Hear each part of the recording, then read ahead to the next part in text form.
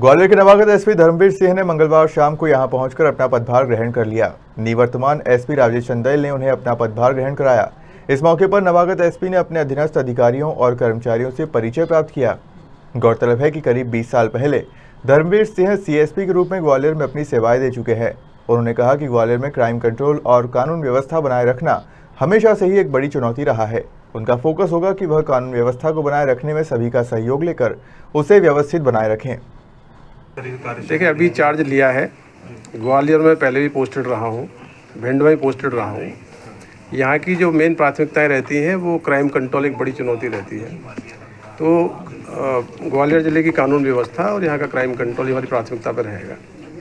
इसके सब इसके अलावा जो आम पब्लिक का थानों में जो थानों के प्रति जो होना चाहिए संवेदनशीलता आम पुलिसकर्मी आम जनता की शिकायतों को गंभीरता से सुन ले बड़ी चुनौती रहती है हमेशा ही। तो पुलिसिंग को हम उस पैटर्न पर ले जाना चाहेंगे जिसमें कि आम पब्लिक अपनी ग्रीवांस को लेके जाए तो वो एक उनका व्यवहारिक संवेदनशील हो और उनकी सुनवाई भी हो जाए।